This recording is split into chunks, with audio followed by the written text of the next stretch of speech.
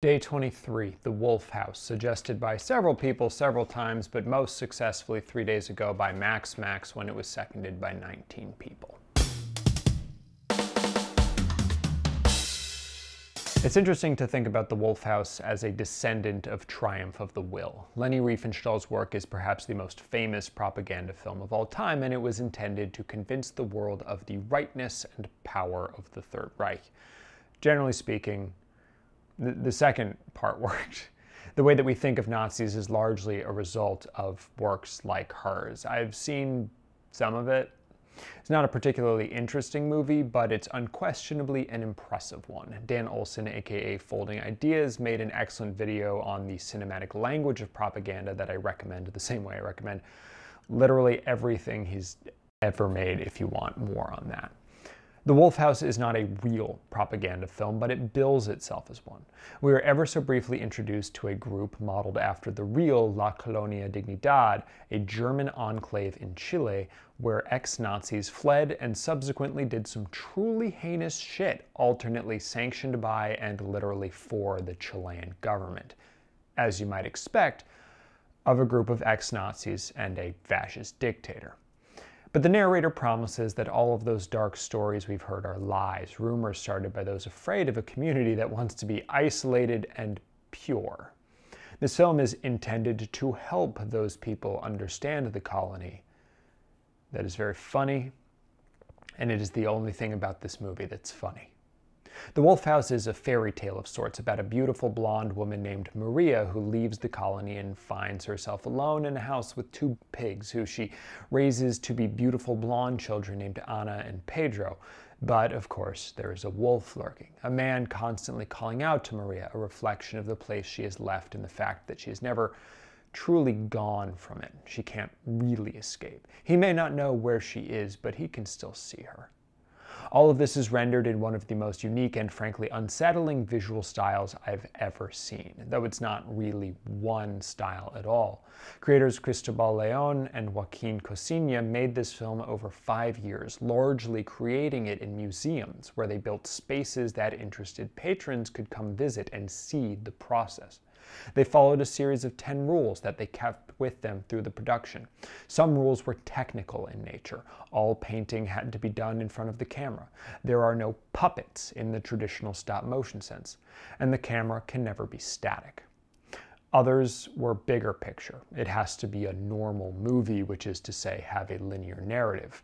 And the project is not being made on a set, but in a workshop where your typical stop motion film uses small scale models invisibly manipulated in a way that makes it feel like a normal movie, The Wolf House emphasizes its artifice. Heck, even calling it stop motion doesn't feel right. It's more like a cinematic time lapse. You can see the construction of each piece, first in paint, then in sculpture. Nothing just pops into existence. While you never see Leon and Cociña meaning they aren't literally just like setting up a time lapse on the camera, it does give that impression. The paint moves and shifts. It covers not just the walls and the floors, but any physical objects in the room. Is there a television in the way of one of the characters moving across a wall? Well, now they're painted on top of that television. It lends a sense of depth and physicality to the otherwise two dimensional medium that feels very visceral and frankly rather unpleasant. I did not enjoy the act of watching The Wolf House. I didn't like seeing people form in different ways, how when a sculpture's body moves, it can tear the limbs, creating gaps that will be filled in over the next few frames. The soundscape is often production itself. If the figures can't hold themselves up, you see the string or pieces of tape that keep them in place, ensuring you never forget that you're watching someone's creation and really their creative process. But just as the people who may have watched me write this review eventually got bored of it, the amount of detail that we see in The Wolf House eventually becomes kind of exhausting. Like, I started watching the movie around 8 p.m., and immediately after it ended, I went to sleep. It's one of only a couple of times I've been in bed before midnight since starting this month of reviews, and definitely the first time I was asleep before 10.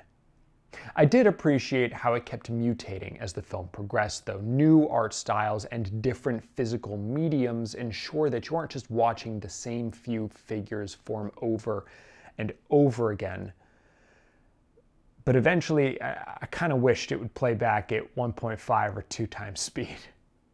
Then again, doing that would absolutely diminish the effect. That deliberate slowness is what makes the Wolf House's atmosphere so fucking oppressive, claustrophobic. Really, you feel genuinely trapped by the experience in the same way that Maria is. And that's where the propaganda lies. This is not a film that makes La Colonia look good, but one that makes the outside world look evil. A fairy tale you tell children who might consider leaving, convincing them that it's better to stay with the devil you know than take your chance with one you don't. And I think it would work. 8.5 out of 10. Thank you so much for watching. Thank you particularly to my patrons, my mom, Hammer and Marco, Kat Saracata, Benjamin Schiff, Anthony Cole, Elliot Fowler, Greg Lucina, Kojo, Phil Bates, Willow, I'm the Sword, Riley Zimmerman, Claire Bear, Taylor Lindice, Andrew Madison Design, and the folks who'd rather be read than said. If you like this video, that's great. If not, oh well. If you want to see more, tell me what to review in three days uh, down down there. We're almost almost through it.